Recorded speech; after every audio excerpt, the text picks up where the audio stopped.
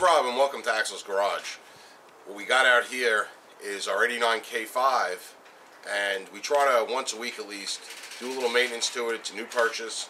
So once a week or once every two weeks we try to tackle one little aspect of what's going on with it just to, to update things that aren't working or, or might be broken or uh, just might need some attention because it is a 28 year old vehicle that we are given daily use now. So we have the tailgate and the tailgate has a power uh, window in that tailgate that goes up and down into the tailgate. That window goes up and down via a switch on the dashboard or a key switch in the back of the tailgate. So the switch on the dashboard works fine. Window can go up, window can go down. The key switch in the tailgate itself does not work. Key goes in, turns, nothing. So that's a convenient feature to have, especially if you got stuff and your hands are loaded and you just you want to go over to the tailgate. You can't put that tailgate down unless you get that window all the way down. So we're going to address that issue. Another issue that developed over the couple weeks that we've owned the truck is that when you do lower that window into the tailgate from the switch on the dashboard, it kind of goes down and it gets a little cocked. Cocked? Can I say cocked?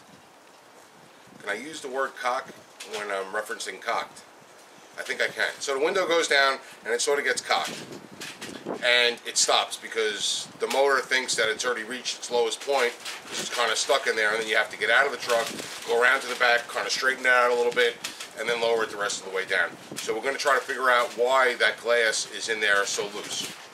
The only way to access that is to get that glass down far enough where you could open up the tailgate, open the tailgate all the way, and there's a rear panel, and this particular vehicle has a, a carpeted uh, tailgate. So you got to take that, that carpeted cover is screwed in by at least a dozen screws so.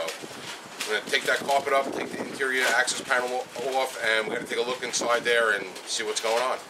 Well, after having to get a little creative, using test lights, a dead battery on a charger to give me 12 volt power over here because my jump pack that I usually use for 12 volt power, of course, is in one of the other vehicles. It's not here right now.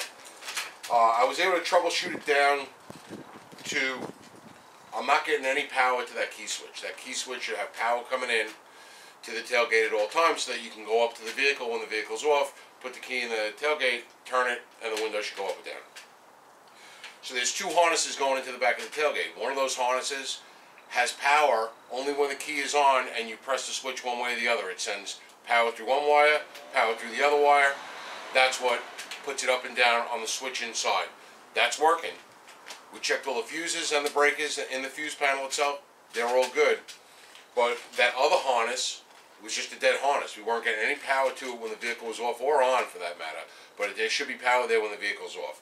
So what we did was we rigged up this trickle charger to the dead battery, to a jumper, to a ground, and with a test light, and we applied power to one side of the key switch. The, first we applied it to the to the other side of the key switch, blew a fuse. So we replaced the fuse, applied power to the other side of the key switch, turned the key switch up and down, and it works.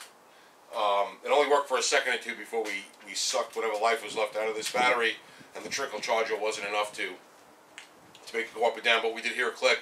We did get a little movement up and down, so we know that that's it. So we got a problem in the harness between here and wherever that harness goes. So that's going to be our next step is to chase that out. As far as the window mechanism goes, I'm going to move the camera and I'll show you a little bit what we found over there as well. So in the tailgate itself, with the window halfway out, we're able to see where the regulator arms come and meet the, the base of the window. Window's screwed in with some bolts. There's some grease on it like there should be. What we found was that we can wiggle the window an awful lot on the regulator. And what that is, those little wheels that are attached to the regulator arms that the window slides up and down on, they just worn out. So there's, there's a lot of slop in it, and that's what's causing that window to go up and down crooked. Now, I don't know if we're going to be able to get them, if we're going to be able to find them, so I don't want to start taking anything apart at this point.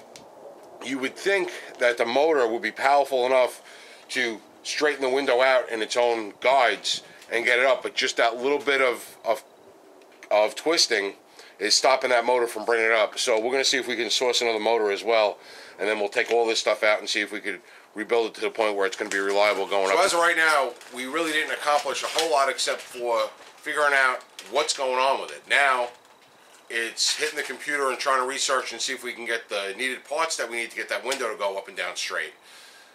We got to button everything back up. We got to replace any fuses that we blew, and then we can start tracing that wire from the tailgate, moving forward to wherever it connects, and hopefully we can figure out why that wire doesn't have power. If we can't figure it out, an easy switch, because that's an always hot circuit, an easy thing would be just to trace that wire as far forward as we can get it, clip it, and wire it directly to a battery positive somewhere. At least that will give you the option to go to the back window, turn the key, and raise and lower that window. The problem what we're having is raising the window all the way, not bringing it down where it gets twisted. So if you raise the window with the key from the back, you could very easily just, you know, give it a little shake, get it the rest of the way back up, instead of having to get in and out from the front of the vehicle where the, the other switch is. So we're going to hit the books, research some parts, and when and if we locate something, we'll do another video on how we repaired the window motor and hopefully those regulator arms and those little slotted balls. But that's it today from Axle's Garage. We'll see you next time.